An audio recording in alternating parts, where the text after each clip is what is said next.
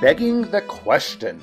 This fallacy is one that I noticed uh, young in life before I even knew what logical fallacies were.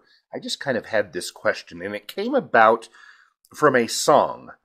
And I'm going to reword the song a little bit, not to change what it's actually saying, but to expose how it's absolutely begging the question.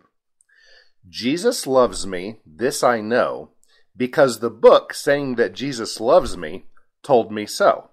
That's exactly what the, the verse is in that uh, that song. Jesus loves me, this I know, for the Bible told me so. Well, the Bible is a book saying that Jesus loves you. And so that is completely begging the question, and therefore, without any other evidence that there is a a Jesus who is alive right now who loves me, without any other evidence, then that would definitely be begging the question.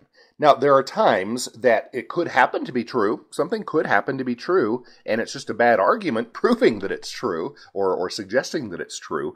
But generally, really pay attention for begging the question. This is when we say, such and such is true because such and such is true. Or uh, the the most popular vehicles in the world are F one fifty pickup trucks because they are the and you know proof of that is because there are more of those sold than anything else. Well, no, I'm just saying the same thing. Popularity and most sold kind of are the same thing. So be very careful of the fallacy called begging the question. It is a very common one.